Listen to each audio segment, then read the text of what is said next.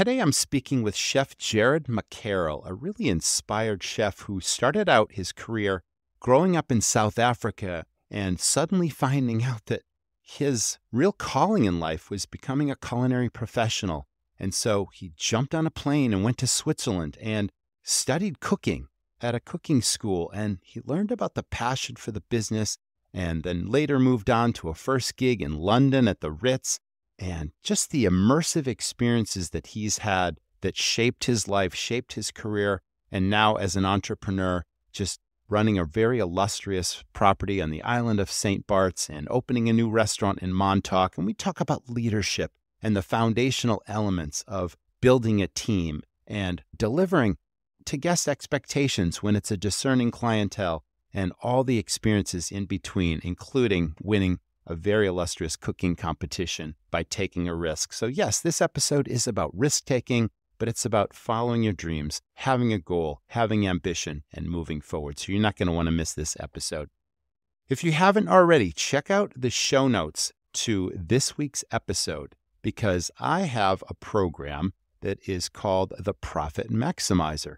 And it's a crash course in how to move the needle on your profits in your restaurant. And it's immediately actionable information that you can apply right now for less than the cost of a craft beer. That's right, only $7. Check it out in the show notes to this episode. Now, on with the episode. Stay tuned. You're tuned in to the Restaurant Rockstars podcast. Powerful ideas to rock your restaurant. Here's your host, Roger Beaudoin.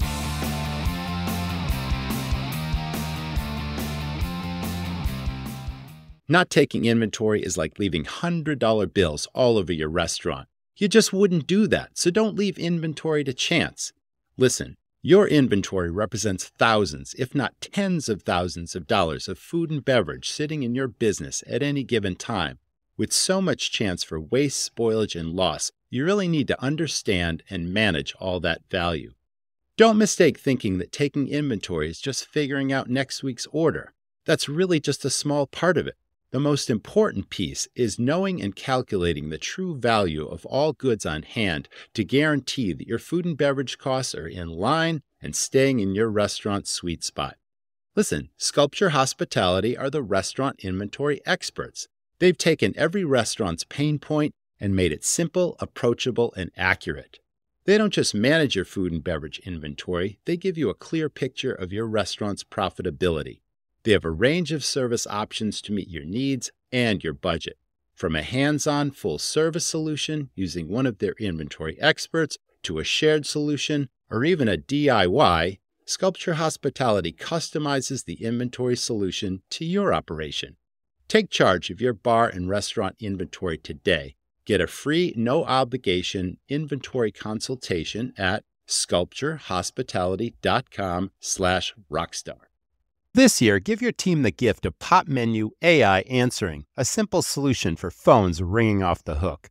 AI Answering handles calls 24 7, 365 days a year so your staff can focus on in person guests. Customize your greetings and responses, answer common questions, promote specials and events, and send follow up links to ordering and reservations. AI Answering handles it all while escalating more complex conversations back to your team. Now, never miss another tasty revenue opportunity.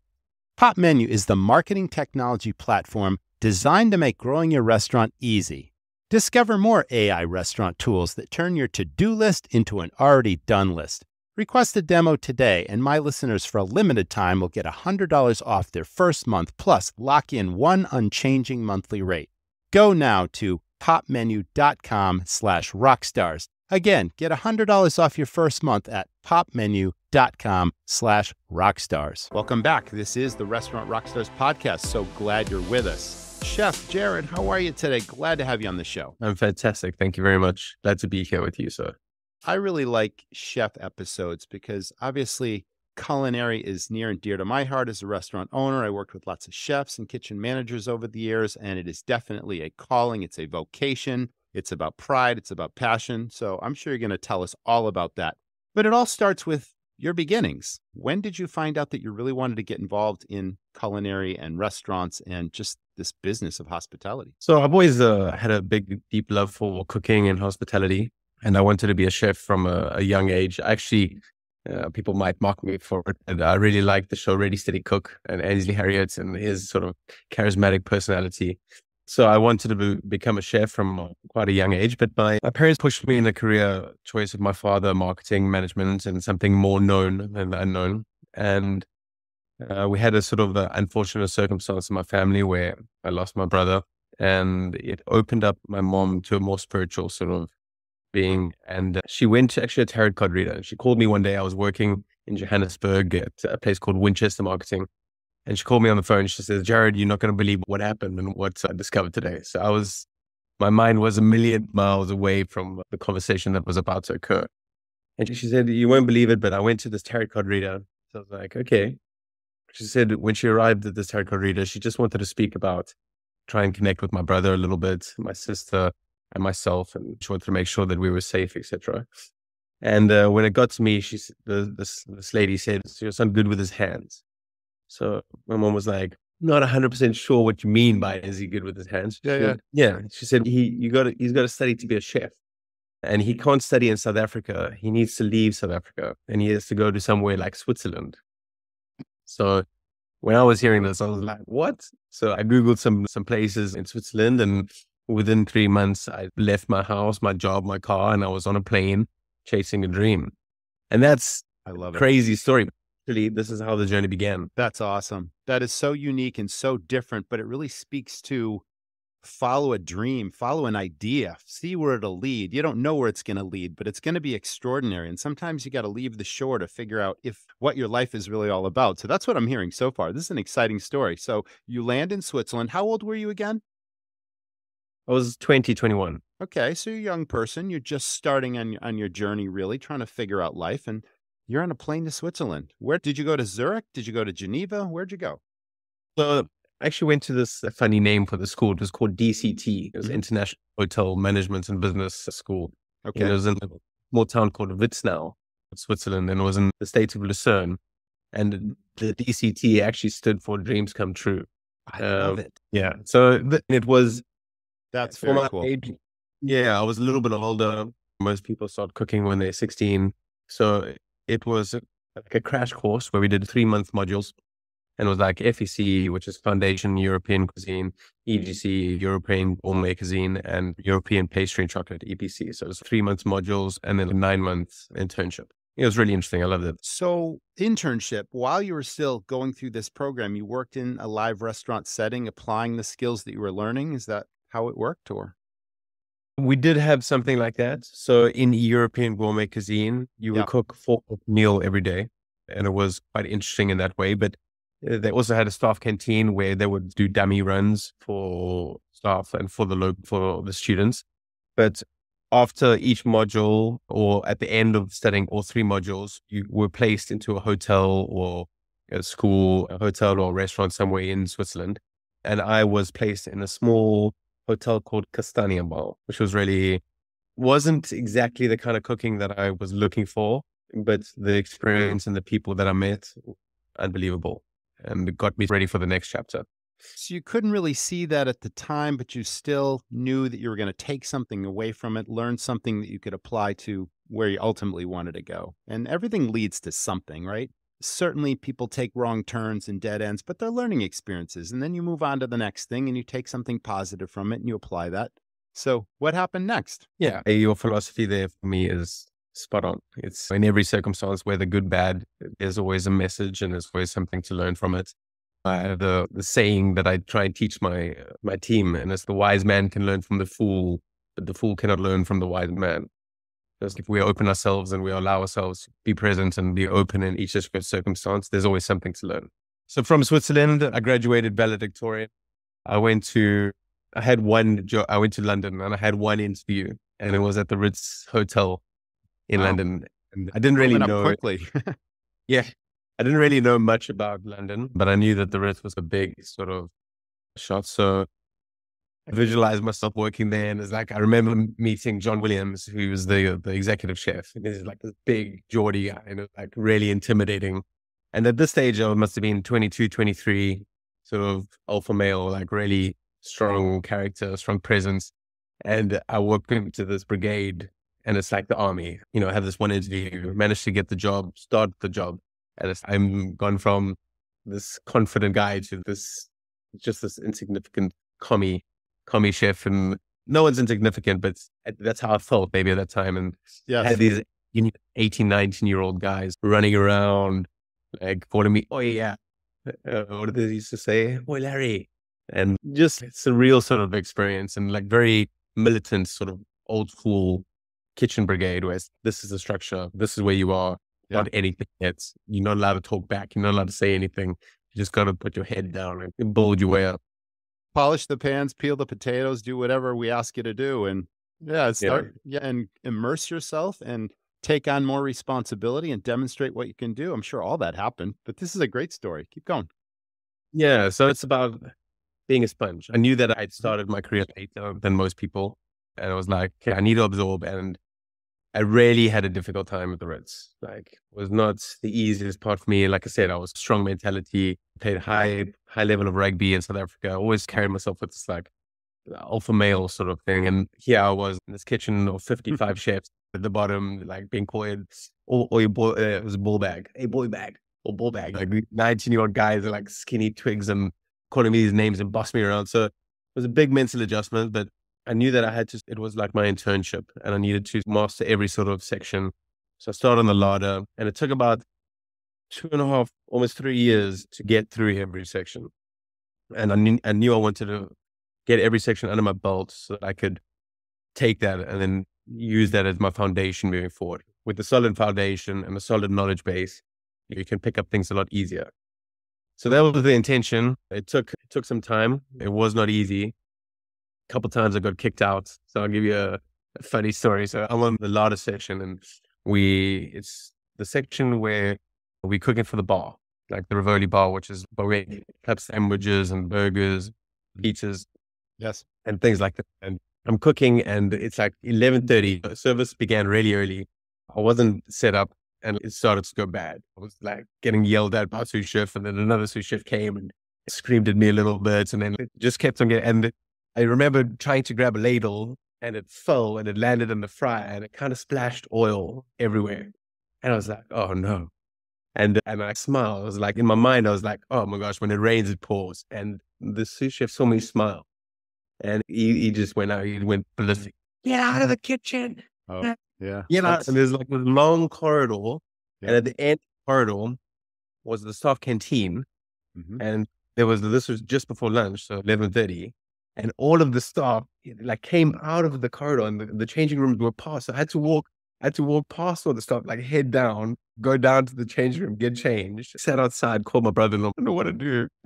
yeah, that was demoralizing. Uh, yeah, not exactly the my leadership sort of uh, style. These things build character. So that must have had a big impression on how you ultimately decided to lead your own kitchens because management by intimidation is not leadership. It's it's barking orders at people and and it just puts you in a stressful situation. I've been in situations before in similar. I was a bartender at a very nice restaurant when I was a young person in college. And we definitely had a chef like that. And he ruled that kitchen with an iron fist, and everyone was afraid of this person. And it wasn't really teamwork or it wasn't really respect. It was like, ooh, I got to stay out of his way. And that's really not the philosophy of getting the most or the best out of your people, I think. But it was formulative for you. You took some things away from that, and maybe some of it was good and some of it you decided to change. So I think that's a perfect segue into leadership right now. Tell us about what you believe in the people that work under you and how you develop people and how you recognize talent in them and how you really get the best from your people. Yeah, you have a great point. We can learn from everyone. Like I said, the fool can learn, the wise man can learn from the fool. But these okay. kind of people, old school chefs. And what happened was I decided that this is not the kind of mentality I wanted. And the way I'm, I have the brand now called the Ocean Club. We have one in St. Bart's, opening one in Montauk. And the way that I lead my team is through empowerment. And I see myself building this brand by empowering staff. And if I can get to a point where I'm leading my team and they feel good about themselves. They feel important about the work that they're doing. And they come to work with a sense of meaning and a sense of pride. Uh, and they're leading their own lives in the, in the correct way. Then the the the communi- the communication with the with the guests will be open. They will be much more receptive to to being present in that moment with the guests. Um, and this is the way I like to lead. I'm a big fan of sort of positive mental health and um, spiritual spiritual growth, and I want to build. My goal is to build this brand by empowering these sort of people and empowering my staff and removing the negative weeds from our lives and replacing them with things that are going to help us grow and succeed. Yeah, that's very uplifting and upleveling. And I, I, definitely believe in empowerment. And just for our audience benefit, they all know that I'm a huge believer in empowering versus delegating. Anybody can tell somebody what to do or how to do it, like that chef you were telling me about but it's rare to lead by example and recognize talent in other people and give them additional responsibility if you see some something special in them and then recognize and reward that performance. And even if things go sideways and they don't adapt to it immediately it's not about criticizing it's about positive critiquing and showing them the right way and just giving them the room to make mistakes and then when they do start to get it and rise up, it's wow, how amazing that is. That's really how you build a team. And I'm really glad you shared that. That word empowerment is super powerful. And I really yeah. want everyone to understand that point. Um, what inspirations have you had throughout your career in terms of culinary styles? And there's so many different cuisines from around the world. And I know you've been exposed to a lot of different ones. You must have your favorites. And what influences your cooking and your kitchens now? So after the Ritz, I jumped around a bit, went through a few different kitchens. Yeah, I went from kitchen W8. I was at the Chiltern Firehouse for a little bit. But I did like six to eight months stages, picked up as much as I could learn from the chef, then moved on. So I got this opportunity to come to St. Bart's. I think it was in 90, no, 2018 or 2017. But as I arrived, so I was literally leaving London. So I just had my first order. We had sent our dog two days before. We'd shipped all of our stuff two months before. We just had our summer clothes. We're leaving London. We get on a plane and we have to stop in, in Denmark. So we arrive in Denmark. No, not in Denmark. Yes. And as we arrive, we have news that the island has been hit by, by Hurricane Irma. Yeah. Yeah. This huge hurricane has just come and destroyed. Uh, it wasn't Denmark, it was Amsterdam. I'm like, I have no, there's a radio silence from the hotel. I've literally shipped all my stuff there. I'm like with my wife and my first child. My dog is sitting in limbo in uh, in Amsterdam. I'm like, oh my gosh, what are we gonna do? I don't know if I have a Is the building still standing? Is it underwater? It's like, where's our stuff? Yeah, it's yeah, like, how... yeah, I have no idea what's going on, like at all. So I'm like, what are we gonna do? So I like I get my wife. I'm like, okay, we get the dog. We get the dog safe. She's with us because it was still Europe. We meet these beautiful people. They give us a house to stay in, and cut a long story short, we end up spending about 39 days in Amsterdam. Yeah, before wow. before we manage to make it to the island. So we make it to the island, uh-huh. and I'm like, okay, great, we make it to the island. Now what? I went from executive chef to commis gardener. Like I'm moving pot plants, and I'm like, oh my gosh, I'm like this is depending like the, the prime of my career. I should be not wasting a minute or. So I speak to my wife. I'm like, okay, what are we gonna do? How do I? How can we make the most out of the situation. Like I was feeling a little bit frustrated and a little bit angry with everything that was going on. So she says to me, before we were watching Netflix and Chef's Table, and I was like, I would love to go and work for some of the top 100 chefs in the world. It was the one thing I'd worked for some really great establishments, but I'd never got the opportunity to study under a top 100 chef. So I went, I spoke to the owners of the hotel. I was like, look, me being a commis gardener is not good for me. We're not doing anything for anyone. It's just not working. Would it be possible for me to go and study in, in uh, Copenhagen? So I went to Copenhagen and I worked for Restaurant Relæ, Amass, and uh, Restaurant Geranium. I was there for 11 weeks, like as a fly on the wall at that sort of level of my career. Being able to go and study for these amazing chefs was just like unbelievable. So, and it was also most of my career was French dining, was French food. That was the kind of style that I knew. The mm-hmm. Ritz, studying in Switzerland, all of the sort of kitchen was French influence. And then this was my first insight into Nordic cuisine, a little bit more pushing the boundaries and seeing something new and different. So it was a very good point in my career to see something different, very interesting. And it influenced my food in a way where it's more modern European now. And I, like that's how I cook, mainly with French techniques, but using some of these Scandinavian techniques as well. Wonderful. When you're in Copenhagen, did you have major responsibility? Did you work different stations? Did you have primary responsibility? What was that like? Did you get rotated through different experiences? Most of it was staging. So it was like I'm working for free.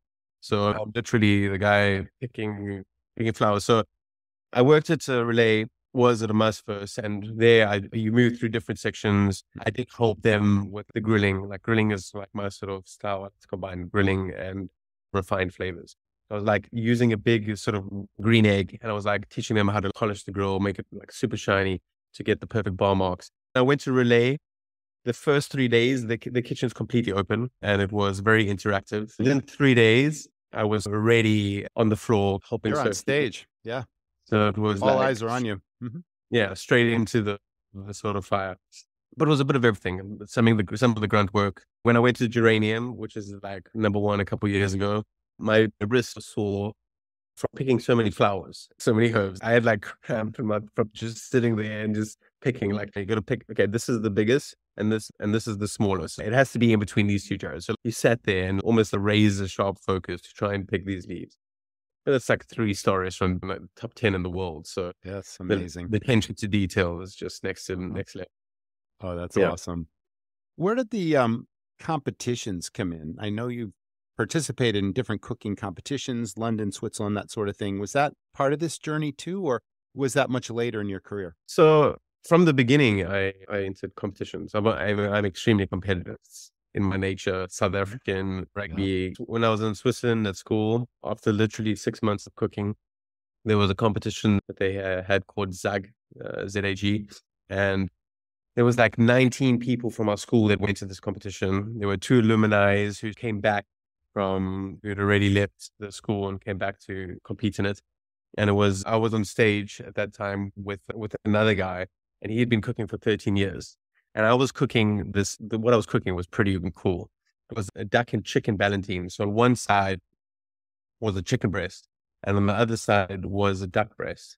And then there was like a farce in between with some sun-dried cherry tomatoes. And I rolled it, and I cooked the duck medium, and the chicken breast was cooked through. And I'd never, I'd practiced this five times and I've never got it perfect except for the day of the competition. Oh, wow. That's awesome. Yeah. And like when so I So you this, took a risk there, didn't you? It's okay. I've done this so many times before. It's never come out quite perfect, but something about you, did you think, hey, I can do it this time? Or just say, what the heck? We're going to give it a go. Wow. I used to literally wake up in the morning and with the steam in the shower, write gold. Like I wanted a gold plate so bad. Awesome. I just I elevated down on the fabric. I write gold. I just believed that I knew that I was going to get it. I think it was the 19 that went. Two two of us won gold. Myself and man. another. Oh man, what a boost! Yeah. What a confidence builder! What a cool experience! That's tremendous. Great yeah. story there. It was a uh, yeah, it was it was awesome. And then when I went to the Ritz, there was another competition. It was called the Annual Award of Excellence. And this time I had just been at the Ritz for a little bit, and I was on the like I said the bar section, and the, my uh, my chef was like, I went to him. I was like, Chef John Williams, I would love to enter. He said, you, you cannot, cannot enter. Everyone was taking it, but okay, if you're going to enter, you need to practice like six times. So there were five semifinals around the whole of the UK. Um, each one had 15 people in. So I enter one of these semifinals. So I make it through the semifinal to the final, and everyone was like, "Oh, well done! You made it this far. You're not going to get any further. You know what I mean? You're not going to, you're not going to go any further. Well done for making this far." So we had 15 people in in the final now. So from those five semifinals, only 50 people got selected to cook in the final. And then I remember being on stage and they're calling up the the guys and they called my name. So I managed to win an annual award of excellence. And I was like the commis and the number two in the restaurant, um, and the guy by the name of Adam Smith also got called up. And like all of a sudden we're sitting next together and I grabbed his, don't touch me. But again, an, uh, an amazing experience. And if you don't take the risks and if you don't put yourself out there to fail, yeah, you're never going to get anything without any sort of sacrifice or uncomfort, uncomfortable. Well, being uncomfortable is where the growth happens. Being comfortable is where we surrender and go away to wither and die. Rock stars, when I needed equipment for my former restaurants, I called Restaurant Equippers. I bought two large freezers during the pandemic that allowed me to sell all kinds of prepared foods and desserts. The shipping was fast, and best of all, the price was right on the money. Restaurant Equippers has served independent food service operators just like you going on 60 years. You'll find all the top names and extensive inventory at their huge warehouse stores in Ohio, Michigan, and New Jersey. You can shop equippers.com or call their national order office at 800 235 3325. Their experienced specialists will help you get the best equipment and supplies and save you money. Thousands of name brand products are available for immediate store pickup or shipment. Just like me, when you need something, you need it now. Restaurant Equippers will make sure you get the equipment and supplies you need when you need them at a price you want to pay. They shop the world to find the best products and value. Give Restaurant Equippers a call for all your equipment and supply needs or check their website, equippers.com. Operators and managers, my restaurants were all about delivering experiences where dining was not just a meal but a memorable event. You might say we curated experiences that exceeded our guests' expectations while we dominated the competition. So let me tell you about Tock. Tock is the industry's first reservation platform. For over 10 years, Tock continues to provide the tools and support that empower restaurant partners to thrive by adapting to changing times and guest tastes. Tock's team share more than 500 years of combined industry experience. They take great pride in solving the toughest problems faced by your restaurant. From flexible reservations to a solution for no shows to curating memorable experiences, Tock equips your restaurant with everything you need to bring your vision to life. Tock is a virtual marketplace that showcases the best of your restaurant in one place. You can turn a table, a meal, or even a Tuesday night into an experience that you can sell and market on Tock, driving revenue from every seat. Tock customers rave about the support and commitment to hospitality that Tock delivers. Request a free demo today at jointock.com slash podcast. Now, that's a lot like taking a new position where you just move into a new kitchen and you're not familiar with the people, you're not familiar with the equipment. You got to get you got to get your legs under you. And in a competition like this, how much time do you have to put a dish out? And are you under pressure? Do you've got to finish within so much time and you got to time everything perfectly so that it all just comes together? And then, wow, I got an extra minute to spare and here it is and it's hot and you present it to the judges. Is it something like that? Exactly. So yeah, I think yeah, we had 90 minutes to prepare one dish that we knew. Then it was like hmm. mystery sort of dish was like a dress crab, which was meant to be done in the shoal, and then like a pasta dessert of blood orange. And you had to you had the time planning, so you're allowed to plan your hour and a half before you started, and you would write everything down. And that's where my work in Switzerland did, because this is what they did. They taught you how to plan your day, how to plan your sort of timing so that you can use and maximize that hour and a half. And then it's like ready, steady, go. And then you blink and the hour and a half is gone. And you're like, oh my God. And you, in the end, you just like trying to put everything together and get it all ready and hot. But unbelievable experiences. Like I said, these are like, for me, I encourage all sort of chefs, waiters, anyone who's uh, in any industry to push themselves beyond their comfort zone and take these risks. Because this is where you, these sort of experiences shape you to, to become the better leader, a better, better mentor, etc. It's a perfect segue into your experience with M restaurants. Can you talk all about that experience? Uh, so M was my first head chef role. So before M, I was at Chiltern Firehouse, which was like, it was, Chiltern Firehouse was a beast. We had every celebrity under the sun. It was Andre his first restaurant in in uh, in London. Yes, um, name had, yeah, yeah, we had eight people that we hired to literally just say no, just pick up the phone and say no. Like you you can get into this restaurant if you tried. We, uh, we had Madonna, Bill Clinton was there one time, like everyone, Iron Man, and all of these guys. So I was there. I got an opportunity to run uh, the show at another restaurant. So there, went to M Restaurants, which is in, in the city in Bank, and we were meant to. It was a big restaurant. We had two different concepts: a raw side, a grill restaurant. We did up to 350, 350 covers in one sort of sitting in uh, one service Yes. So like we, like on the grill section, we had a Josper pit, and on the other side we had this open grill, and like you were sandwiched between two sort of massive fires. And it was like, like I said, it was my first head chef role. Big learning curve, huge sort of. I remember going outside, and at this stage in my life, I was I used to smoke cigarettes, as most people in our industry do. Luckily, I've kicked that habit right now. But I went outside and just took this break and just like crushed down with my knees. I was working 100 hours a week, something in the city. I, I worked out one one week. I spent 18 hours awake outside of work, and that included traveling to work and back. So it's like literally wake up in the morning, go to work, work like from 8 or 7.30 until 11, uh, 12 at night, train back, same, repeat the same day. The next day for five days. And then the next day was just sleep a little bit, Yeah. uh, back to work. It was hard. And I was like, if I can make it through this, I can make it through anything. It's like boot camp. Really. Wow, that's amazing. And you're dead on your feet, but does your body ever get used to that? Because that's like punishing, yet you're in the groove and it's like it's all when you just immerse yourself and just somehow keep going without the quality slipping and without making mistakes and like staying sharp and lucid. And all those things are important, right? Yeah, of course. But I, I think it comes down to mindset. We are capable of so much more we actually give ourselves credit for. And if yeah. you believe that you can do something, you can do it. When I'm at M restaurants now, okay, obviously in the beginning it was, I was working these 100 hour weeks. It calmed down a little bit, 65, 70 hour weeks towards when we were running. And I went to Mallorca to watch my friends over a weekend and they were all doing Ironman. And I was like, okay, I'm going to watch it. And I was like, sitting on the sidelines and I was like a little bit overweight. I was like, what is going on here? I am not the kind of, I'm not the guy that watches these things. So I was, I'd always made excuses. I can't join them. Uh, And I said, screw it.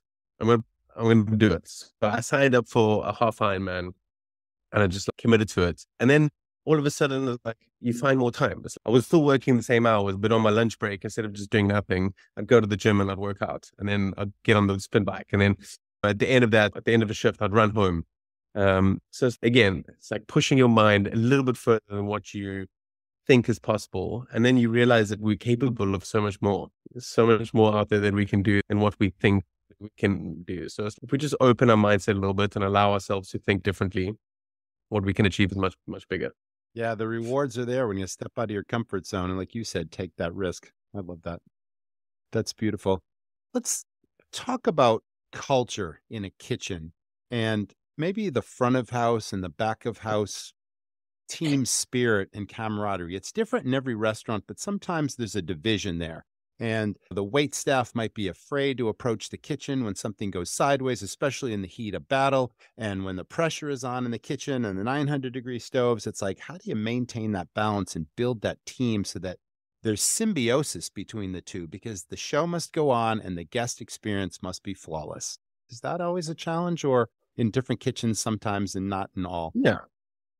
It depends on your leaders in your team. I've worked in kitchens where there was a big sort of divide between the floor and at the Ritz, for example, between the floor and the staff. And you often saw like the two general manager or the managers going having this huge fallout over each other and like, who's who's got the biggest I've got the biggest ego kind of thing. It's like a, a fight for nothing. In the restaurants that I'm building and the hospitality brand that we're trying to set out to achieve, uh, it's everything is about mindset. And we all need to be on the same page and we all need to be swimming in the same direction. This is the goals. Regardless if you're on the floor, if you're on, or if you're serving in the kitchen, like all my kitchens are open and exposed. So you, you have a, a open view of what's going on. But regardless of what, where you are in the restaurant, you need to be on the same page. So for me, it's whatever the problem is, sort it out. Make sure the guest doesn't experience any more suffering or any more discomfort that he's already experienced. And then once it's sorted, we can debrief afterwards and make sure that doesn't repeat itself. Just fix the problem immediately. If there's a problem, overcooked steak, undercooked steak, whatever. For me, it's undercooked. For everyone, it's different and they have their interpretation of what a steak looks like. But regardless of what we think, the guest is, is his experience, her experience. Let's fix the problem. And once the problem is fixed, then we can debrief afterwards. And how does that not repeat itself? How do we make it? And we're learning. It's like I make mistakes. I had someone the other day and they were sitting there and they had these, I've got these beautiful prawns. They're like, like this sort of big tiger. Yeah, huge. So two on a plate, like in a beautiful dressing. And they came back, she's fishy. I've sent like seven of these already tonight. They're all from the same sort of batch. I tried one. I'm like, it's not fishy, man. And I realized afterwards, I the next day I was like, I didn't deal with it the best. So I went to my team and I was like, look, regardless of what happens, like the profit that we make is in the return of the customer. So we'll make a little bit now, but maybe we lost. If I gave it prawns, she wanted the prawns comped. I didn't comp the prawns. I said there was nothing wrong with them. There was a bit of a fuss. I made her feel uncomfortable. She left with, and she left with an icky feeling. Mm-hmm. I left icky feeling, Yes. and we both were in a situation where we lost. So like Yeah, that- right. next time this happens, yeah, let's we just comp.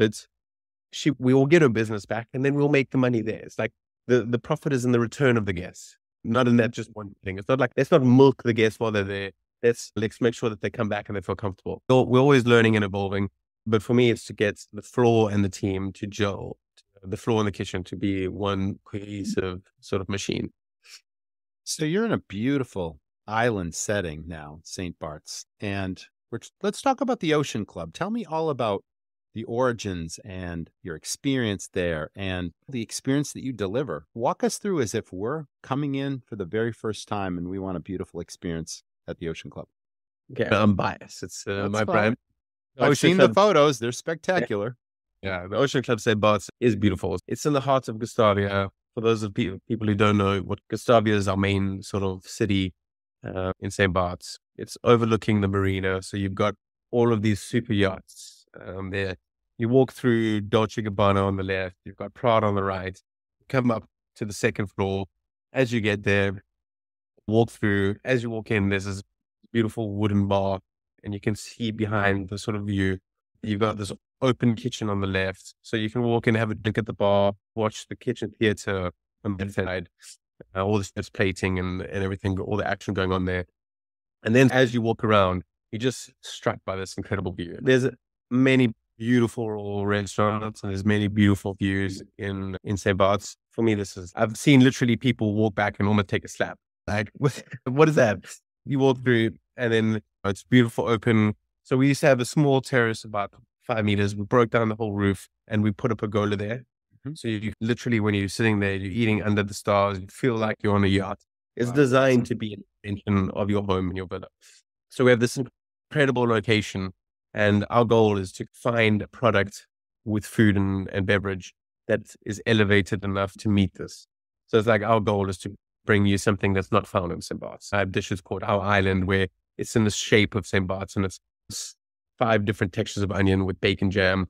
You got these caramelized onions and these pickled onions and bacon jam on top, and crispy shallot soil, and you got some ch- chival, and you pour this super uh, aromatic onion consomme at the table, and it comes to life. We've got like Tree of Life, have Caviar Illusion by my pastry chef Simon Picari, and we're really pushing to achieve something um, special. We know that the space is unique.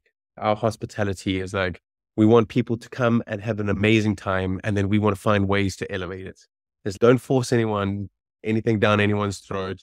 Let them be comfortable. Allow them to find a relaxed space where they feel at home, they feel comfortable, and let's find ways to make it better. Let's find ways to elevate that experience. And that's the kind of goal between uh, behind our hospitality is really find ways to make these people feel elevated, feel comfortable, and feel at home. Is there a balance between sort of the exclusivity of what you just described and people that are trying it that hope that it's approachable and not intimidating? If you're not just stepping off your 100 meter yacht, let's say, but you want to have the experience, is it is it approachable? It is. It's your experience. There's a level of service that's high, and we are at the higher end of St. Bart's uh, and the higher end of the Caribbean. We have an intention to be there and to sit there and remain there. We want to give you an unbelievable service where you feel pampered and you feel comfortable and it's not stuffy. No one's sitting there with ducktail suits and good evening. You know what I mean? We, No, we you your name. We sit you by there. It's very comfortable. It's Mm. your home away from home. And we have these elevated dishes like the tree of life and the onion and the red snapper tartare and that caviar illusion. But we also have simply grilled. So if you want to have a nice piece of salmon that's just cooked beautifully Beautiful. with a side of mixed leaf salad or some French fries, it's available for you. Nice. Like I told you, it's our goal is to make sure that it's your experience, that you are comfortable, and that you have the experience that you're looking for. I'm not trying to stuff anything down your throat. I understand we're in St. Bart's. It's not about being stuffy or pretentious uh, or there's none of this at the Ocean Club. It's about being comfortable, relaxed, and being able to enjoy your time. When we first opened, we dabbled with concept of members only. and it was a big flop. And one of the things that we realized was if you're in Miami or New York or LA or any of these sort of big sort of cities, you join members clubs to elevate yourself and move or to surround yourself with like-minded individuals. Yes. Now, if you're on say, you're already part of this elite group. So I I know how important like our guest time is, and they've if they've dedicated a two hour slot or two and a half hour slot to come in and experience the Ocean Club, we want to give them the best service and the best uh, possible uh, time and the experience, like I said, that they want. Is your location in Montauk sort of a duplicate of St. Bart's? Is it different in a certain way? Because the clientele is in the Hamptons is obviously very discerning as well. So the guest might be the same. Is the menu the same? Is the vibe and the ambiance different, similar? Montauk will be op- opening this oh, year. Oh, you're so, opening it. Okay. Yeah, yeah. So it's we'll be opening in the middle of May. Oh, wow. Um, that's coming quickly. Are you involved yeah. heavily in that whole development of the property and oh, the yeah. restaurant? Yeah. You are. I, I, same concept. Yeah. yeah. Ocean Club Montauk. Same design as we have. It will be same big, like my cooking is we cook on open fire. So we have wood and charcoal grills. And then I elevated French techniques. So we're cooking like back to the basics. And then I'm finding ways to elevate that using different products. And this will be the same. We'll have some highlights. It's the difference is Ocean Club St. Bart's is a 65 seater restaurant. Ocean Club Montauk is 185 seats. Oh, wow. Yeah. Wow. Almost it's, two times bigger. yeah. It's, it's a beast. So yeah. maybe we have, there's not so many steps and not so many small details on the plate, but the quality of the cooking is, will be much will be maybe the same if you know but what we do have is a better product. Here we live on a, on a small rock. It's in the middle of nowhere and we have to get our products from miami or from france and they come by ship and plane and sometimes it's it's part of being on this island. It's not you don't have access to yeah. the best. Right, Where right, right. in montauk we have the best at the doorstep. It's like we have the best one of the best fishing ports in the united states like literally right there we have local farms, we have organic produce, we have all of these different things, which are just like it makes the work of the chef way less complicated. So it's about taking the product that's so beautiful and finding a way to elevate it as well. That is absolutely true. Yeah, you're absolutely right. In the middle of Long Island are all the farms and the local produce, like you're saying, and it's as fresh as it gets, and the seafood's right off the dock that day. And there must be challenges in St. Bart's when you have orders, but you don't know if they're going to arrive on time. And what happens? Are you 86ing things frequently because it didn't show up? Or I can only imagine those challenges. So it's a complete opposite experience in Montauk. Yeah. And before I was at the Ocean Club, I was at Hotel 20, and we've had weddings where you have, they've ordered a specific thing, and literally the, the container, which is holding everything, hasn't arrived or it's stuck at the port and it's literally in the same bus, but we don't have access to it. Oh, yeah. So it's like, wow. You, you kind of, sometimes you think on your feet. Yeah, but look, there's, there's this thing about stress. It's like, there's nothing that we can do it. If we just allow ourselves to surrender to that moment and be like, okay, this is the, the realization. Let's not resist it because this what's is the workaround. Yeah. Let's, the show must go on. Yeah. That's, Yes, the show must go on. There's no point stressing about uh, the product's not there. The product is not here.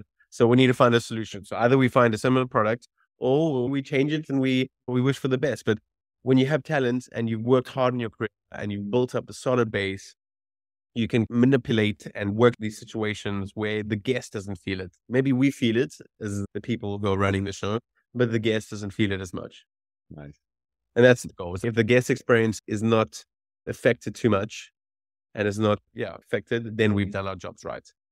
So you're a pretty busy guy. Do you still have time to be a private chef and put on instructional classes and also consult? Do you have time for this? Are you still doing this actively? Actively, no. When I was building the Ocean Club, this is what I did while waiting for the kitchen. Now I I can consult. Sometimes I do private cooking as part of the Ocean Club, and I'll do some guest experience for this. Um, but my sure that you know these business operates and they run and you know we we have the right sort of tools to get these going as properly as possible. What's next on your plate? You must have a lot of big plans for the future. You're clearly heavily immersed in the ocean club but what do you see yourself doing five years from now? It's the brand. My goal is to build a world-class hospitality brand that elevates its staff and that empowers its employees and that offers a, a hospitality that is built around love and respect and a high end product with uh, great food and great cooking and and who knows the Montauk project is a big one and it's it's tied to a big brand. Unfortunately, I can't say it yet, but yeah, they they have uh, a few different locations and this is the start of the Ocean Club. We have good partners. I have a partnership with Edmiston. I have a partnership with Feadship, partnership with Wimco on, on the island, and we we plan to of go to Montauk, make it successful, get the ball rolling, and then hopefully there's a few more Ocean Clubs down the road. And not 100 percent sure where they are, but we will see as uh, time goes on. But elevated hospitality brand with a lot of love and intention behind it is the goal you were to give some advice to a young cook, maybe going back to when you were 20 or 22 years old, and someone might be working in an independent restaurant, or maybe they're working in a national chain here in America. Maybe it's an Olive Garden and they're just cooking and they're on the line every night. It's, but they want to do more. They want to go farther. They want to work for some illustrious chefs. It's like, how do they set themselves apart? What's your advice now, remembering what it was like being a young person with dreams and goals and ambitions? First of all, make sure that you have a dream and a goal and an ambition. I, I have this amazing, I have this amazing quote, and it's in order for us to be successful, we have to involve successes. And success is the progressive realization of a dream. So, in order for us to be successful, we need to have a dream. So, it's like, what is your dream? And if you can pinpoint that, and then you take the progressive realization, small steps that make you realize that you're taking steps closer to this dream, is what the goal is. So have a dream, have a goal, focus on that, know that you're going to get it, and then make sure that you don't compromise. Go to work every day with an intention to be your best, be present, learn your trade, and don't work for money. There's so many people who want, I want more money, I want this, or that. Don't worry about the money. If you focus on the education, focus on getting the groundwork, delivering that foundation, and making sure that you know what you're doing and that you build a love for your craft the man who loves walking will walk further than the man who likes the destination. So build that foundation and know where you're going and then uh, just enjoy the ride. Life is life is about the the journey. It's not about the destination. Just enjoy the journey. That's the reward. Chef, I've really enjoyed talking to you today. Jarad, it's been my pleasure having you here. Thank you, Roger. My pleasure to be with you. So very inspiring. We covered a lot of ground, and I really, I personally have never taken any cooking classes. I used to love in my restaurants. I had wood fired pizzerias and steakhouse and sushi and all that kind of stuff. But I really loved getting in front of the brick oven, burning at 900 degrees and 15 pizzas in the oven at once. And there's hot spots, and you're constantly flipping the pies in the heat of battle. And that to me was therapy. But that was the extent of my cooking in my restaurants. Right now, I can make a pretty mean caramelized scallops and risotto, but other than that, not for people night after night. So I, I definitely envy and admire you and, and, chefs and just people that have a passion for delivering great food and, and great experiences. So thanks for being on the podcast. This was a great experience. So I appreciate you as well, Roger. Thank you very much. Thanks so much to our audience for tuning in. That was the Restaurant Rockstars podcast. We can't wait to see you again next time. Stay tuned and stay well. People go to restaurants for lots of reasons for fun, celebration, for family, for lifestyle. What the customer doesn't know is the thousands of details it takes to run a great restaurant. This is a high risk, high fail business. It's hard to find great staff. Costs are rising and profits are disappearing. It's a treacherous road, and smart operators need a professional guide. I'm Roger. I've started many highly successful, high profit restaurants that I've now sold for millions of dollars. I'm passionate about helping other owners and managers not just succeed, but knock it out of the park. I created a game changing system, and it's filled with everything I've learned in over 20 years running super profitable, super fun restaurants. Everything from creating high profit menu items and cost controls to staff training where your teams serve and sell, to marketing hooks, money maximizing tips, and efficiencies across your operation. What does this mean to you? More money to invest in your restaurant, to hire a management team, time freedom, and peace of mind. You don't just want to run a restaurant, you want to dominate your competition and create a lasting legacy. Join the Academy, and I'll show you how it's done.